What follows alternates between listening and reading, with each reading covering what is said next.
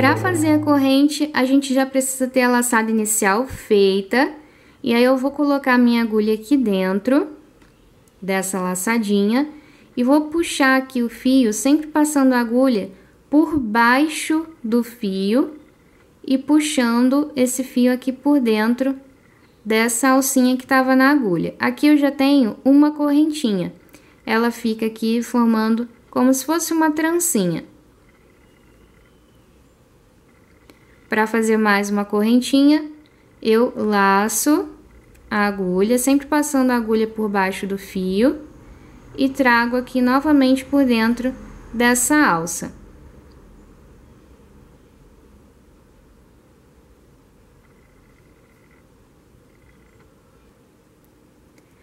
Essa então é a nossa correntinha. Aqui, por exemplo, a gente já tem uma, duas, três, quatro correntinhas. A gente identifica a corrente por essa trancinha, esse Vzinho que vai se formando aqui ao longo do nosso trabalho.